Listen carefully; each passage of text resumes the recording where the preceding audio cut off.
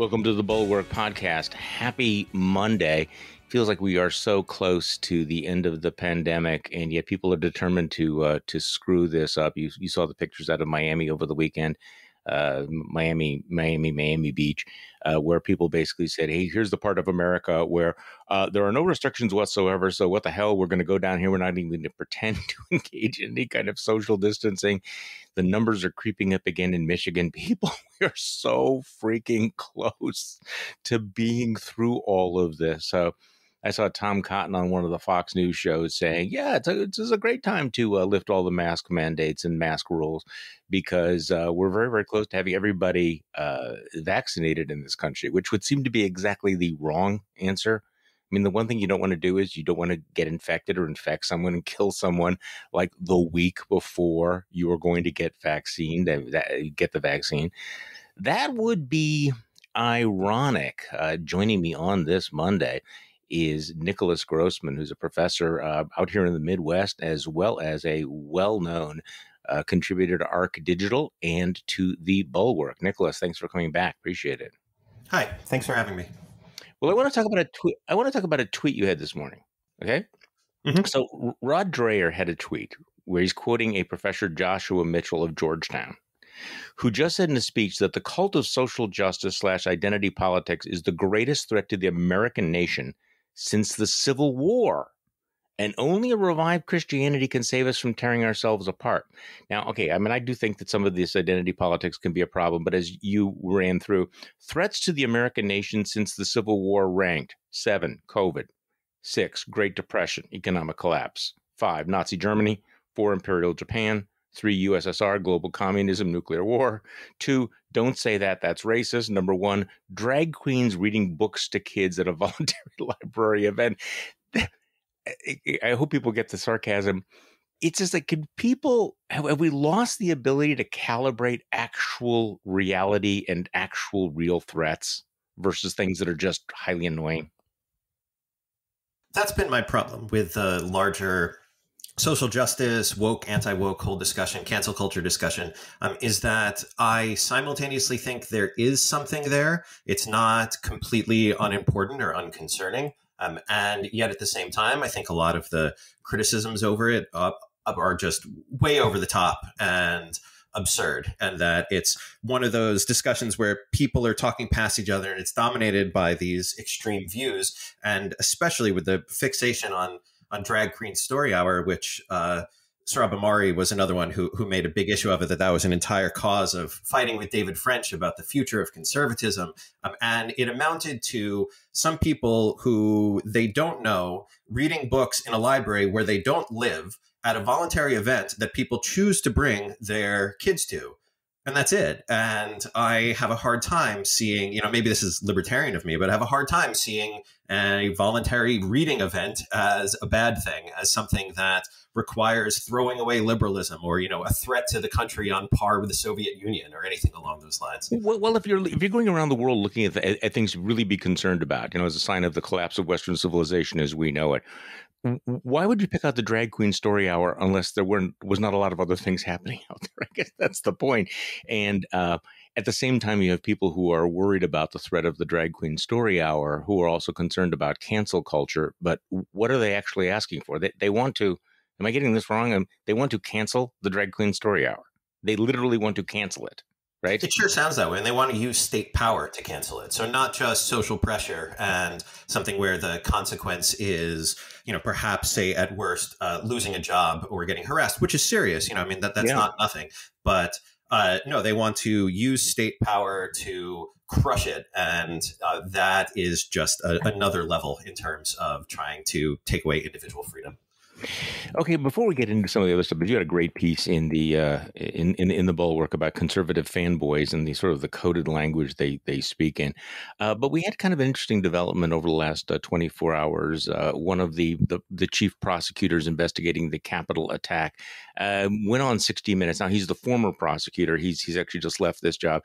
His name is Michael Sherwin, and he's on 60 Minutes, and they were pressing him on well, uh, with the hundreds of people that you're charging, uh, are you considering charging anyone with sedition? And we don't generally, I mean, that's on the books. uh, but we don't very frequently charge anyone with uh, with, with, with that. It really, since since John Adams, sedition has not been a really huge thing. But this is what uh, Michael Sherwin had to say. Do you anticipate sedition charges against some of these suspects? I believe the facts do support those charges, uh, and I think that as we go forward, more facts will support that, Scott. Hmm. So, what do you think about that, uh, Nicholas Grossman? The fact that they are seriously talking about bringing charges of sedition would be kind of a clarifying moment, wouldn't it? I think it would be appropriate and useful for that purpose uh, that it was clarifying. I used the word sedition about the Capitol attack almost immediately. And the reason why is, according to US code, uh, sedition or seditious conspiracy is using force to prevent the execution of US law, to prevent or hinder uh, the execution of US law. And that is very clearly what they did. That the Capitol attack was forceful for at least some people. It was a pre planned use of force. And the intention was to hinder the execution of a very important U.S. law, of the law that is a core part of the peaceful transfer of power, of authorizing the election. So they used force to try to thwart U.S. constitutional democracy. And that strikes me as something that warrants a very serious charge, that it would be a good thing to have on the record. This is one of those things that is just way over the line that we use this rare, very serious charge for. I'm really glad you you you put it that way because it, this is a distinction that I think is important to continue to make. And of course, you know my my home state senator Ron, uh, my home state senator Ron Johnson, you know, continues to try to uh, do the whataboutism about the Black Lives Matter protests, uh, other sorts of things, is suggesting that perhaps it was not as serious as it was. It was serious. Over the weekend, he said that he didn't feel threatened because they weren't over on the Senate side, which would suggest that he's completely oblivious to the facts. But this distinction about what was happening on January 6th. This was not a protest. This was not just a random riot that burned some Starbucks or some gas stations. This was an attempt to stop the government from counting and certifying a presidential election. And it is remarkable the degree to which people are willing to you know just sim- simply forget about that particular distinction. And bringing charges of sedition i think would be would in fact be clarifying would draw that bright red line this is not like these other things and those other things, that doesn't mean that they are somehow not bad or not right. wrong. Right. You know, if you try to burn down a business um, or, you know, say try to burn down a courthouse, that is, uh, that's serious. That yeah, are things like uh, arson, you know, that's assault, but it's the level of problem that should be addressed by on one level insurance companies, but on another, another level, especially police, uh, you know, maybe state level courts. It's not a national security issue. It's not something that is directly attacking the United States government. No, it is, and and that that does seem to be rather rather important. Okay, so before I'm going to get to your article, uh, over the weekend there was a lot of back and forth about the shootings in Atlanta, and I thought you had a really good take on this. By which I mean a, a take that I personally agreed with. Um, there seemed to be this this this this tug of war over whether or not we ought to regard the shootings in Atlanta as an anti Asian hate crime or whether you would put it in a different box of misogyny or sex addiction or the Christian purity culture or or whatnot. And there were a number of people who were accusing the media of trying to cram this into their own narrative. This was all about white nationalism or white supremacy, and that when in fact it wasn't which I don't want to get too meta here, but it struck me as that they seemed anxious to impose their own narrative on it. So you kind of did have the, you know, here, here's America 2021. Um, you have this human tragedy, and there is this rush to, you know, which narrative can we fit it in? But uh, so tell me what what what your take was on this. The the, the back and forth is white nationalism, sex addiction, misogyny, what? The short answer is that these things sometimes have many causes, that yeah. it often doesn't fit neatly into one of these preconceived narratives. Um, I teach about terrorism. This is a thing I've been teaching about for the, at this point, about 15 years. And one of the things I focus on is, you know, whether something counts as terrorism or not and um, what that means about it. And much like with when we were talking about the Capitol attack, the how we classify it doesn't say whether it's good or bad. It's just uh, you know what type of crime it is and what type of solution we might have to it. Um, and uh, this one was not terrorism in the sense that it wasn't political. It wasn't uh, trying to say send a message or change society. In a way, by contrast, the uh, Charleston church shooter goes into a historically black church, kills nine black people, and he had made videos about how he wanted to inspire people to fight a race war. That he thought that white people were being unfairly oppressed, right. and he wanted to do so. That's you know a political action. Um, in this case, there's no openly political element, no, you know, seeming to want to send a message or, you know, change things for other people. Um, there is a pretty clear misogynistic element. Um, there's something tied up in uh, attitudes towards sex. You know, a, a, murder of sex workers is uh, unfortunately not that uncommon. Um, and a fairly say a common target for people. Some of that tied up in uh, particular fundamentalist religious religious attitudes about sex. Although, of course, the vast majority of people who hold those attitudes don't then go and kill people. And some elements of race that I think you can't separate from it because he went to these Asian spas uh, Asian massage parlors, not to any of the other places. Like he didn't go saying shoot up some strip club, you know, for example. And so if he is feeling that he and he used these words about trying to stop temptation, and the thing that he's tempted by are these Asian women. So there's a, a racial element to it yeah. also. But part of the white supremacy reaction to it was that if this is clearly white supremacy and that's all that's going on here, well, then of course the police, because the police are part of this system, the police will be on his side. And so there was a hmm. reaction to the police captain's description of investigators saying what they believed was the mindset of the killer at the time that then got put through these different you know media and especially twitter filters and ended up convincing a lot of people that the police were being very sympathetic toward the killer. And in looking at the actual words i, I don't think that was really the case. And so that was a he good was example repeating of, what the what the killer had said. He wasn't saying it himself the whole bad day stuff Right. The bad day stuff was yeah. him paraphrasing the investigators, right. who were in turn paraphrasing or describing, say, uh, the killer's mindset. And um, this is something that maybe a lot of people can't relate to, but since I've been studying terrorism for a long time, that I get very, I don't know, like detached from it that maybe when you think about uh, people killing each other a lot, that one of the ways you can deal with it is to be kind of matter of fact and uh, detached and not, you know, say emotional about it. And that's at least how I interpreted most of what the police officer was saying. But I, of course, can't really know. But if you went into it thinking, well, this is clearly white nationalism, then you interpreted the police officer's words and you got more upset about it. And I would think that, you know, in finding out that it's not actually something where he was sympathetic, that would be good news. But some people seem to be bothered by it. Like they wanted it to fit that narrative and it bothered them that it didn't. Well, I mean, it's, it's also as I'm watching this debate, to quasi debate, to playing out, it, it, it, strikes me as that you know these explanations are not mutually exclusive, as you mentioned. They they sometimes overlap. It's, it's messy. It's very hard to know what goes on inside somebody's in somebody's head, and so the we we we don't do we don't do nuance very well anymore, do we? In terms of hey, maybe it's all of those things. Maybe it's not this. It, and, and, also because everybody's got to have a, a, hot take. You have to have the, the hot take within 24 hours, and it's got to fit all of your preconceptions. You know whether or not you actually know what's going on or not.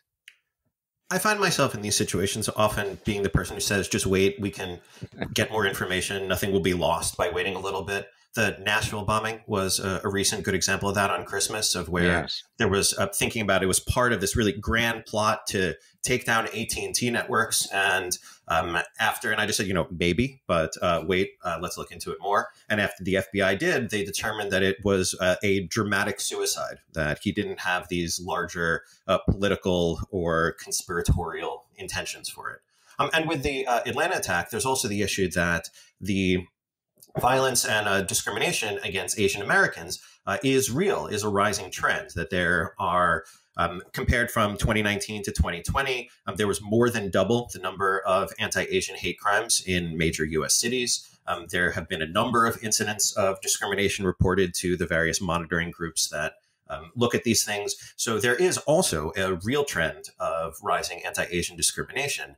And that was maybe partially connected to this in some way, but not all that clear. And so, in the same way, people who are, I think, rightfully concerned about the anti Asian discrimination, looked at this and then immediately said, that fits my preconception. That must have been exactly what it was and nothing else. And it's more complicated.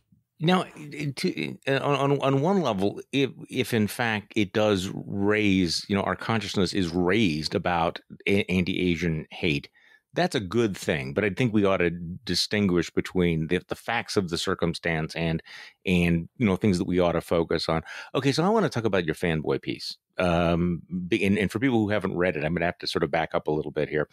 This is, I, I suppose, this goes in the category of the way that conservatives have uh, increasingly begun to talk to one of them, talk to themselves. We use terms like memes and narratives a lot. There's a lot of talk about how uh, a lot of uh, right wing media is all about owning the libs but I, but I thought you had a very interesting take the way you described this sort of insular folding in on themselves that increasingly if you were you know not a regular you know, consumer of Fox News and you dipped into Fox News or into conservative talk radio or many of these you know the Ben Shapiro world it would almost feel as if you'd stumbled into some in group that had its own code its own language that you'd have a hard time understanding. So, talk to me about that. You said InSpeak has taken hold in right wing media. Peruse Conservatism Inc. these days, and you'll see it has become so dependent on inside references and shared fictions that it is inaccessible to the general public, even its even as it is more thrilling to fans. So, talk to me about what you're what you mean there. So, I came up with this, I think, because I was watching WandaVision, the Marvel yeah, show, which um, is outstanding. Which I, I, liked it too. I thought it was good. Um, and I, I, was watching it at the uh, same time that Joe Biden gave his uh, big COVID speech, one year anniversary of COVID speech. And um, he said something about how uh, he hoped that if we can uh, stick to the vaccinations and you know if we can really uh, keep fighting the pandemic, that uh, we can be optimistic about July Fourth. You know, we'll be able to have some yes. celebrations and get together for barbecues. And this was something that my wife and I watched the speech and we thought, oh, that'd be nice. And yeah. A lot of the conservative media bubble, Conservative Inc., um, reacted to it as this was some really offensive thing and reacted to it then with second and third order references, almost like the random Easter eggs that I saw in WandaVision. So you had um, people like uh, Tucker Carlson saying, you know, how dare you tell us who we can spend the 4th of July with? And um, Ted Cruz tweeted this meme that was a, a, grill with a steak on it that had a star above it and it says, come and take it below it. And that was his whole communication about it. And that's something because I spent a decent amount of time in this world, I knew what he meant by that but it was a level of like you have to have seen the 17th Avengers movie to be able to understand this little part of WandaVision. That if you didn't understand already, that first off, uh, you were supposed to be offended by uh, Biden's comments, and you were supposed to think that he was threatening your Fourth of July barbecue, which, of course, the president does not actually have the power to ban those things, but um, you know, in theory, that he was doing it. So you have to know that, and you'd have to know that the flag was um, a reference to the Battle of Gonzales from 1835 and the Texas Revolution when the Mexican army tried to take back a cannon. I missed that. and you'd also have to know that, and so they use the come and take it slogan. And then also that come and take it goes back to ancient Sparta and the Battle of Thermopylae against the Persians um, and the Persian Empire um, and the Spartans resisting it. And they uh, said, you know, Molon Labe, come and take. Um, and this is a slogan that's popular with gun rights activists. So to really get this thing that Cruz was saying, you'd have to catch all those different references. And if you didn't know them, it would just look kind of weird. It's a, uh, you know, it's a barbecue and says, come and take on it. And that this is something that has been building for a while and kind of getting more and more insular and harder to um, access by outsiders. And so for someone who has seen the Marvel movies, um, watching WandaVision, I found that more thrilling. I liked it more. Right. But, you get you get a kind of a dopamine hit if you pick up the reference, right? Exactly. You know, yeah. Um, and, and so here you would need that communication knowledge. to get it. Okay, so the, the the reference to WandaVision is interesting because I actually binge watched all of that, and I and I am old enough to remember all of those old TV shows or most of them. But I but I did find myself every once in a while stopping it and going and looking, you know, you know, going online to figure out okay which which show in which decade is this because it was a lot of it was this inside humor, and you didn't appreciate it unless you got the inside jokes. And I, I think that's a really good analogy because you know what's happened is is that a lot on the on the right it is a lot of code speak uh, that you have to have all of these references and you have to have been marinating in in these references and these narratives for a very very long time to understand why you're supposed to be upset about this and i by the way had this exact same reaction to the whole july 4th thing i thought it was nice it was aspirational i was thinking about it and then you go on you know into conservative media and it is it is it really is that alternative universe of of uh, of of uh, of of, in, of indignation. So, but again, this is part of that larger folding in on itself, where the right is no longer trying to persuade. it, it is just simply trying to stoke the indignation, uh, trying to come up with things to be ups, upset about. Um, you know, if you if you live in Ben Shapiro world, uh, there's no attempt to you know persuade someone that uh, Joe Biden's uh, infrastructure plan is is you know is, is, is ill conceived. It's all about ha ha ha. Look, he fell down on the stairs, or you know, here's this uh, you know here's here's this this gaffe, or how this relates to something that we talked about last week. You know what I'm saying? It's a it it it, it really is kind of this impenetrable, increasingly impenetrable universe it's increasingly impenetrable. And uh, it was you know building for some time that there was a example of a ben shapiro uh, article in 2018 so meaning not something he just wrote. I'm sorry not something he just said you know off the top of his head but something he wrote so presumably could you know read over and edit. Um, when he was very critical of some obama speech that obama talked about uh, he was critical of appealing to tribe to fear pitting one group against another. That was the obama line that shapiro didn't like. And he responded and i have the whole quote here of this is from the president who tut-tutted actual riots, who suggested without evidence that police departments across America were syst- systemically racist, who declared that a slain black teenager could have been his son, who deployed his vice president to say that Mitt Romney wanted to put black people back in chains. So I know what a lot of those are referencing, but I don't think everybody does. And an example of who declared that a slain black, te- slain black teenager could have been his son. So that is referring to the Trayvon Martin case. It was yeah. already six years old by the time Shapiro was saying it. There is no other explanation at all in the article about why that is bad or why Obama saying, you know, I have empathy in this case is a bad thing. Um, so you have to know both of those automatically. But the thing that has made it worse, so that was 2018. Um, that made it worse was first COVID, um, in which the approach of the Trump administration and Trumpist media that followed was that um, it's no big deal, and um, you you know also that there are miracle drugs that you can go out and take, and um, it's going to go away soon, or just anything else to avoid acknowledging the reality of it. Then the election and the big lie associated with the election, how in this world you have to agree with the shared fiction that um, Trump actually won the election and don't pay any attention to all the court cases he lost or the fact that nobody saying this can bring actual evidence of it.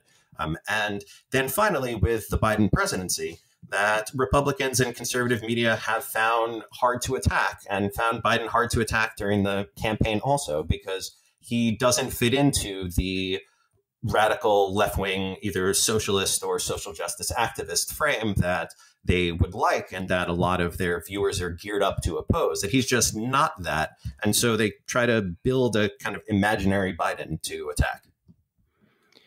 You know, I it, it, it's funny you should mention this because I I don't know how I got on the mailing list because I, I do get a lot of that stuff from the Daily Signal now, and, and it's what you describe is exactly the way every single email reads although it also occurs to me that it explains well, you know, why someone like a Ron Johnson, and I, am bringing this up because he's in the news, not just because I know him and and uh, am complicit in all of that, but why Ron Johnson says some of the crazy stuff that he does, because very clearly he's fallen down this rabbit hole, and he, eh, you know, I I, I, perhaps unfairly said that uh, he sounds like somebody that reads uh, the Gateway Pundit, I, a big New York Times article yesterday. He, but but I actually, you know, was thinking that where does he get his information? How does he get these facts? Uh, why does he use these particular narratives? And they they are instantly recognizable if you spend time in conservative media. And interestingly enough, and this will sound like a digression, but I digress all the time on this podcast. Um, I got a mailing yesterday from the Daily Signal, which is the Ben Shapiro group, basically from Ron Johnson. I will not be silenced And so he's using the Daily Signal and the Ben Shapiro network to put out this, you know, I am a victim. I am the victim of cancel culture for saying these crazy lunatic things. So uh, again, every once in a while you will hear a politician say something or a public figure say something that seems completely incomprehensible unless you understand what you've been describing. And if you have all those references, it makes sense. Yeah. And the problem, though, is the number of people, problem, say, for the Republican Party, um, is that the number of people who buy that stuff, who who catch all the references, who are part of that world, is not large enough to win national elections. It um, it might be close, but it is maybe more like the say um, Georgia electorate that turned out for the um, Senate special election in January that Democrats managed to win. Yeah. That where it was you know maybe ten percent less than the Republican turnout in the general election. And the appeal to other people who are outside of it is very small because if you can't understand what they're talking about, if you can't connect to it, if you are a if you're not a political junkie, then it doesn't even make any sense. It's not a that there's something to agree with or disagree with. Um, it's that it wouldn't really register. Um, and this, I think, is part of where you see the impetus for various efforts to make it harder to vote. That the Republican Party having concluded, and this is a fairly recent change. You know, the um, Ronald Reagan was the opposite on this, and you know, encourage immigrants. And um, George W. Bush uh, signed a reauthorization of the Voting Rights Act. Um, and here we are about 15 years later, where the Republican Party is, and it's not first time anyone's done this, but um, putting a lot of their eggs into the voter suppression basket on the idea that they have this core and it's large, but not large enough, and they can really rile them up um, by, you know, in, almost in the same way that you'd get somebody riled up for like a new Star Wars movie. And then they can't actually get over the hump with that. And so they would rather there be fewer people voting. No, and that's exactly right. Uh, you you you made this this point, which I think is is is important.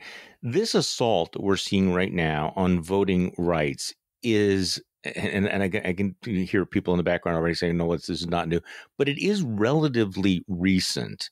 Um, yes, there's a long tradition of voter suppression in this country, but I keep coming back to the fact that that the Voting Rights Act in 1965 was passed with 79 votes in the United States Senate, 79. When it was reauthorized under George W. Bush, I believe the vote was unanimous. You had a Republican president who re signed the authorization of the Voting Rights Act. And now, the one issue that seems to be motivating Republicans more than anything else, more than the spending of the national debt or the debt or any of those things, is making it harder to vote. So this is a relatively recent thing, and it is based on these narratives and these memes and these anecdotes that then become legends that determine the entire uh, the entire ideology of the entire ideological approach of the Republican Party right now. And these things are all part of the same thing that even back to the drag queen story hour stuff that if you have convinced yourself that you are under a unyielding existential threat that there are things like a stolen election or uh, i don't know drag queens taking over every library or, or something but um, or a better way to put that say non-sarcastically is uh, that um, Christians, uh, religious people, are being squeezed out of the public space, yeah. and that uh, this is going to lead to your impending destruction. Um, or some of the uh, worse versions that have motivated terrorist attacks of theories of what's called the the Great Replacement, about how uh, immigration is a conspiracy to try to dilute the amount of white people in the country. Um, that uh, all of these things combined make it that then the only other people who quote get it are the people who are in that bubble with you, who agree with these core shared fictions. And if you start with that premise that there actually was a somehow stolen election, well, if I really thought an election was stolen, I would react very negatively to it as well. And yeah. I would take that as a very serious threat. And so if you take that, if you have to accept the fictional premise first, and you can see this in, in Ron Johnson kind of trying to scramble to figure out something that can connect the dots that start with a premise, try to make that connect to reality. You know, what excuse will you buy? Um, that all of these are part of that same thing of just a unwillingness to try to deal with concrete facts and to have disagreements on things like quite serious issues. You know, I mean, uh, taxes or foreign policy and war or something like, say, abortion. Um, that all those disagreements, those are still normal disagreements. It's not this existential we are terribly oppressed people. We're victims. We need to stand together against these if not totally imaginary at least heavily exaggerated threats. Well speaking of which i don't know whether you saw this. I'm, I'm guessing that you you did. Um, you know the, the claremont institute used to be a really solidly conservative, respectable mainstream organization, and it has become became increasingly Trumpy and began you know putting out things like American Greatness. But it, the the president of the Claremont Institute is a guy named Ryan Williams, who I don't know him. A president, he's the president. He's the publisher of the Claremont Review of Books and and the American Mind, and he tweeted out over the weekend. He found a tweet that said the U.S. Department of Defense sent a memo directing U.S. military departments to promote and project uh, LGBTQI rights. Okay, so that's the the story basically. Let's show more respect, you know, make sure that people's rights are not being violated. He saw that tweet and he said, "The modern." This is what he tweeted: "The modern uniparty, whatever." Seems quite committed to getting us into and then losing a war. The sad fact is that we will deserve it Decadence and corruption on this level usually mean regime collapse is not too far around the corner, which struck me as a rather extreme reaction to this one memorandum on you know uh, gay rights. And suddenly it's like we deserve to lose a war and you know we're going to have regime collapse and it's the end of western civilization as we know it. So it's also this take something that you disagree with and make this absolutely hysterical Flight 93 election plus kind of reaction. And there was a similar one with Tucker Carlson making a big issue of women in the military, and yeah, you know right. the fact that they would they're making some flight suits that fit uh, women uh, women's bodies and including pregnant women, and yeah. the you know the logic of that is pretty simple. We have a volunteer military. We don't want to be turning away people who want to do it. You know, we'd love more people to do it um, rather than fewer. And uh, whenever you have something, you know, and there's uh, women, gay, whoever, um, you know, uh, patriotic, willing to serve, great. And also, when you have people who are going to say take a leave of absence, for example, for having a child, you don't want their skills to atrophy. You want them to be able to do their job as best they can for the period that they can. And that's it. There really isn't all that much more to it, and so it was an um, an odd thing to get so upset about. And you had Tucker talking about the great masculinity of the Chinese military, which you know what a weird thing to praise them for. Which also they the Chinese military happens to have an obsession with their own insufficient masculinity. So that ad had a weird, uh, I don't know. Uh, a rhyme to to those two different things. But so speaking yeah, of hyperbolic, weird, way over the top. Yeah. Speaking of, of weird flexes, you, you you probably caught the, the, the Fox News kind of cheerleading for Vladimir Putin in, in whether he's going to debate Joe Biden or whatever. I mean, um, Putin and the Russians were very very upset because Joe Biden described Vladimir Putin as a killer, which of course he is. And all there's so many parts of this that I like. You know, Trump world, you know, was telling us like two months ago that they love the fact that Donald Trump just you know told it like he is. They loved his blunt, direct language and his insults. Now it's suddenly like, oh my God, this is just terrible. Joe Biden has actually called Vladimir uh, Putin a killer. This is absolutely horrible. This is the dumbest thing any president has ever, ever, ever said. So it is this weird kind of rooting for Russia against again this is this is from the America First crowd. So it's hard to keep up, isn't it? As best as I can describe it, I think that is an example of culture war is everything. Mm-hmm. That mm. the um, enemies where it used to be kind of an organizing principle for the American right was opposition to the Soviet Union and to communism. Yeah. And that's been gone now for 30 years. And so it's been reorganized to at least a significant extent around opposition to the American left, the Western left, especially the cultural left and um, various social justice efforts. And the response to it ends up being things like like that which are just say ridiculous and over the top of where first off trump himself was never strong uh, with Putin that um, was, you know, always obsequious and very flattering. Um, and even when the similar about, you know, Putin is a question, Putin is a killer question, Trump's response was to say, "Oh, you think we're so innocent?" Was to, um, you know, denigrate worst. the United States in the process. Um, and so cheering on Putin this weird way, where um, I mean, I was very critical of Trump. I uh, never, you know, cheered on somebody like, say, uh, Xi Jinping. I didn't cheer on China in the trade war. You know, I still wanted the United States to succeed, even if I thought that he was doing it poorly. And to see somebody where it's because merely Putin is opposed to Biden and opposed to Democrats, opposed to the American left, and that is the single organizing principle. And therefore, enemy of my enemy is my friend. And I would not have called a foreign authoritarian leader a friend um, or an enemy of an enemy in that regard. But that seems to be what their priority is. It does, and it's a, it's a long distance from what American conservatism used to be. So you and I were having a brief conversation right before we began this about how the Republican Party got to this point, and I know that's kind of a large question, uh, but you were making an interesting point. I wanted you to repeat it um, about you know going back to Obama, the approach of the Republicans and how it, it is part of the, the process of you didn't use this word, but the process of, of radicalization that's taken place, it feels like in the last 10 years. So give me your thoughts on that. So I think the origins for, and of course there are many factors to this, but yeah. you can trace in part to the end of the Cold War and the remo- removal of that enemy, and also the uh, Bill Clinton triangulation and Washington consensus, where effectively Democrats embrace markets and they embrace free trade. And as a result, the previous big left right divide becomes something where people are now arguing over a few percentage points of income tax rates right. or um, you know maybe specific things and you know which are worth debating but are not these grand divisions um, and with obama there was and part of this probably relates to his race but definitely not all of it that there was this impression that he was this crazy radical uh, left-wing ideologue and then he didn't govern like that at all where he um, and you can ask you know any of the real left-wing ideologues or you know the real socialists they were quite mad at him. So among other things uh, in response to the financial crisis there was a lot of pressure from the left to nationalize the banks and he didn't. He bailed them out instead and then quickly sold them back the stock that they had given the government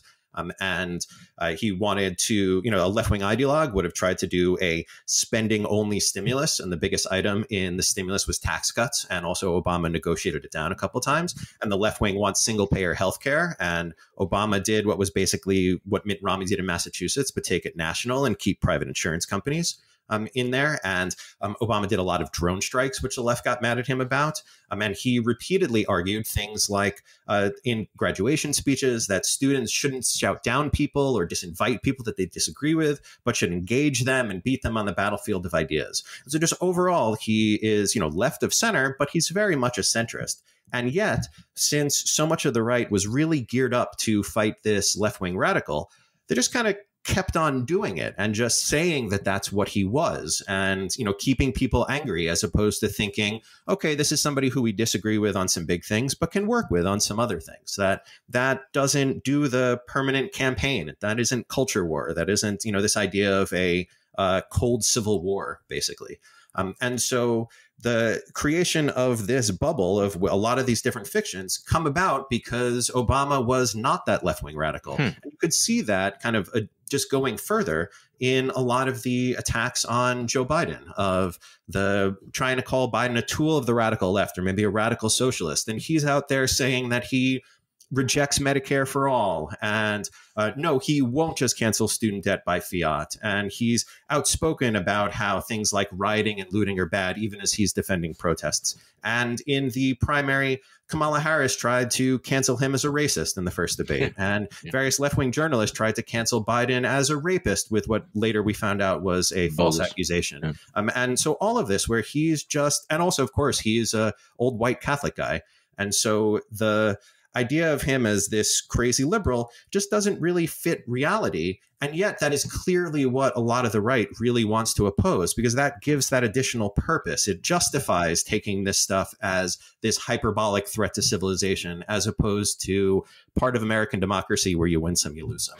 This is this is really this is really good stuff, and I think it's part of the frustration that I think some folks are on the right are having with Joe Biden because he's not living up to that stereotype. So they have shifted the goalposts by, as, as you mentioned, that that he's this empty vessel. Okay, so Joe Biden himself is not offensive. He's not scary in the way that we made uh, Barack Obama scary or the way that we could make Kamala Harris scary.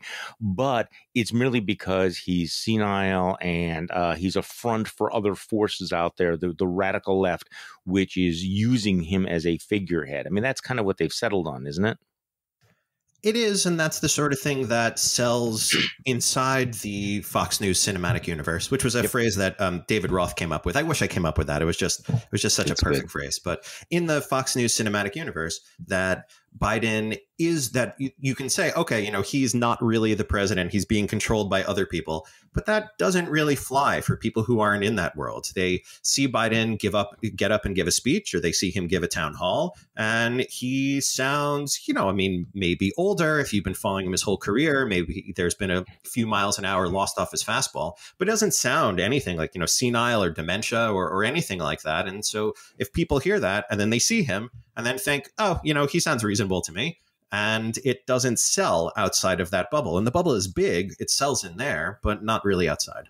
Well, it sells in there in a, in a very big way. I'm I'm getting a lot of feedback from people who are saying, you know, it, my my sister in law, my brother in law, my uncle, my aunt, you know, are absolutely convinced that he is senile, that he is, you know, you know, can't really function at all, and it, the obsession with that is so deep in that world and I do think it comes back to what you're describing is is that they need to come up with an explanation for people to be really terrified of somebody who is not that terrifying.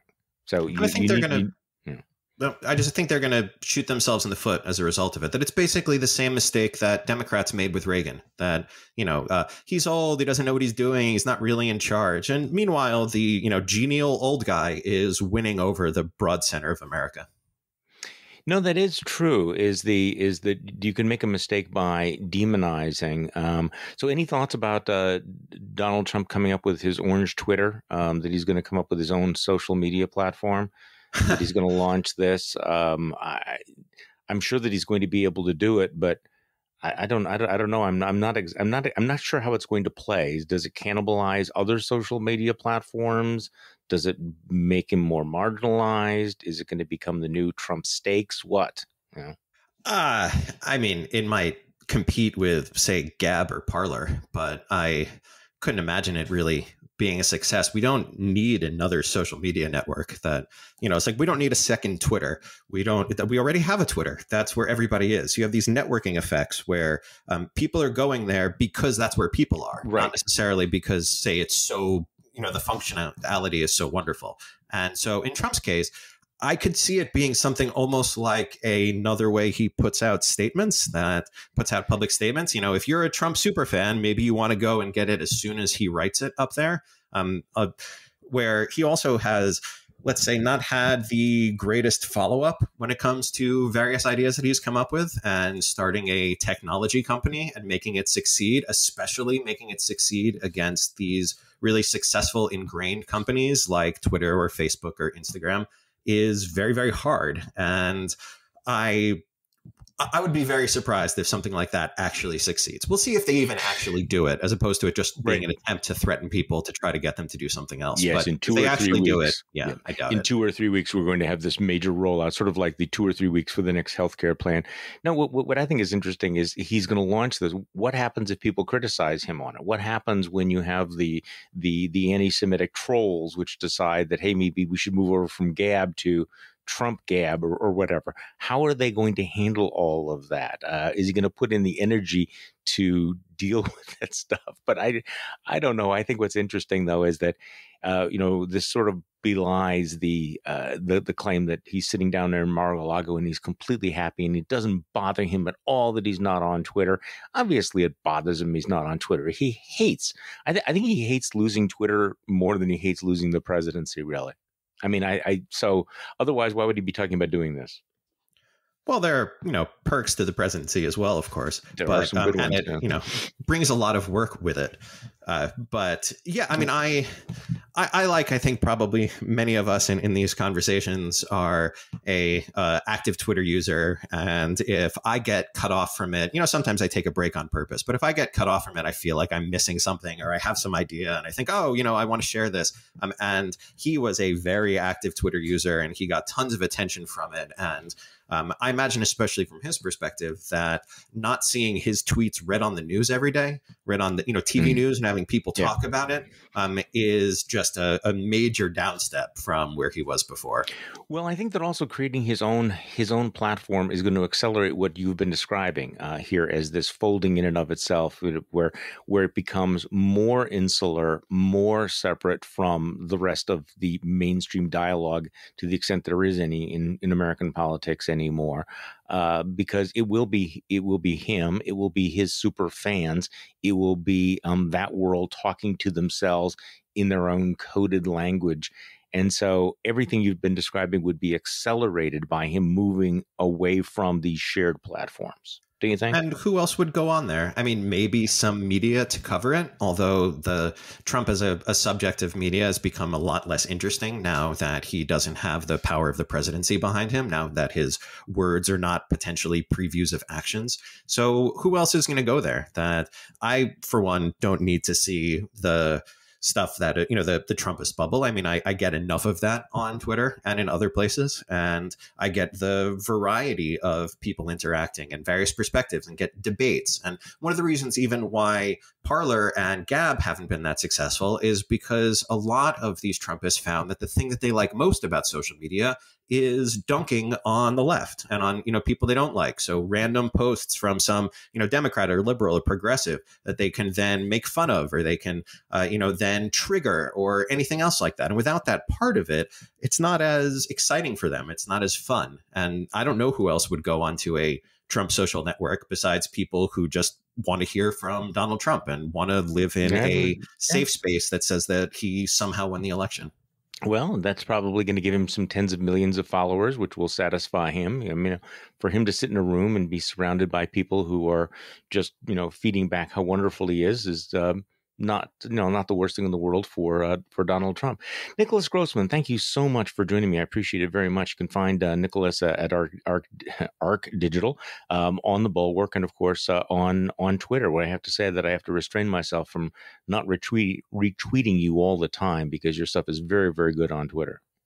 Thank you. And thank you all for listening to today's Bulwark podcast. I'm Charlie Sykes. We will be back tomorrow and we'll do this all over again.